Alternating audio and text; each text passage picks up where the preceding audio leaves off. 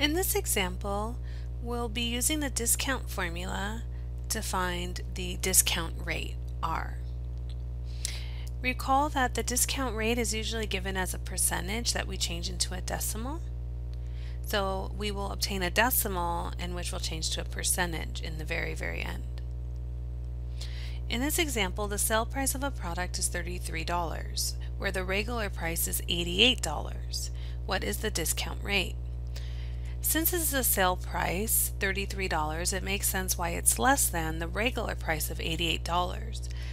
So a product that was marked $88 discounted to $33, there's a pretty big discount and we want to find the percentage in which it was discounted. So let's go ahead and use our formula. S is the sale price. The sale price of the product was $33. R is the regular price, which is $88. And R is the discount rate, which we don't know and we need to find. Plugging this into our formula, S equals R minus little r times big R. The sale price is $33 equal to the regular price of $88 minus the rate R, which is unknown, times 88. If I rewrite this a little nicer, we'll see that this is 33 equals 88 minus 88r. And we can see this becomes a linear equation of one variable, in which we've learned previously. So I'll go ahead and subtract 88 from each side.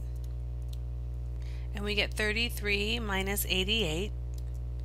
We can use our calculator if we need to. It's negative 55 equal to negative 88r. Next we divide each side by negative 88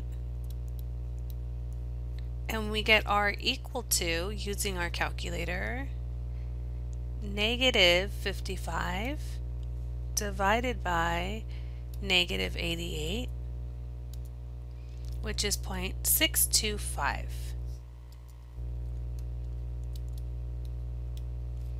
If we rewrite this decimal as a percentage, moving the decimal over to the right twice, we get 62.5%. But in the directions, it clearly states that we need to round to the nearest whole percent. So this means that the rate would be equal to, instead of 62.5, I would have to round up to 63%. Therefore, we could say